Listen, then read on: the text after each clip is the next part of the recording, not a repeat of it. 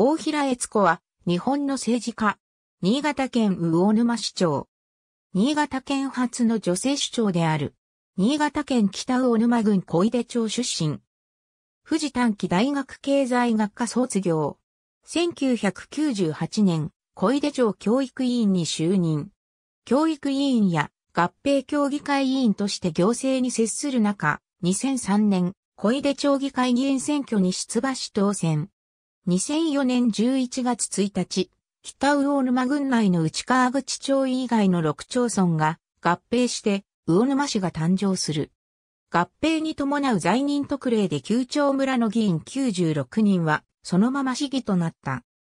2005年3月28日、魚沼市議会は自主解散を求める議員発議を否決した。同日、解散に賛成した市議42人が辞職願を提出し許可されたが、その中に大平が含まれているか否かは不明。同年7月に魚沼市議会議員選挙が行われ、当選。2008年11月30日に行われた市長選に無所属で出馬。現職の星野義明を破り初当選した。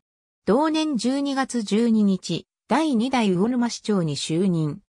当日有権者数34,547人、最終投票率 73.89%2012 年12月2日、執行。元市議の森島森と元市議の大桃総ら二人の候補者を制し再選した。当日有権者数33,134人、最終投票率 72.34%2016 年12月4日、執行。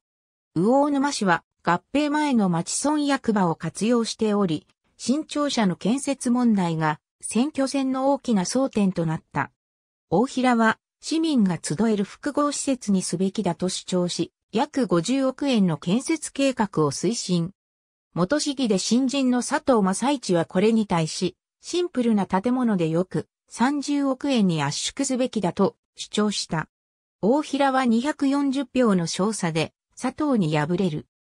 当日有権者数32,082人最終、投票率 67.90%2017 年9月23日、民進党県連、社民党県連、連合新潟は三者協議を開き、第48回衆議院議員総選挙の新潟5区に太平を擁立することを決定した。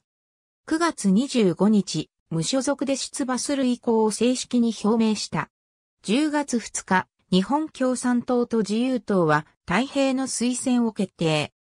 共産党は公認候補予定者を取り下げ、前年の参院選などと同じオール野党体制が実現することになった。選挙の結果、自由民主党公認で、前、新潟県知事の伊豆田博彦に1万2000票差で敗れた。ありがとうございます。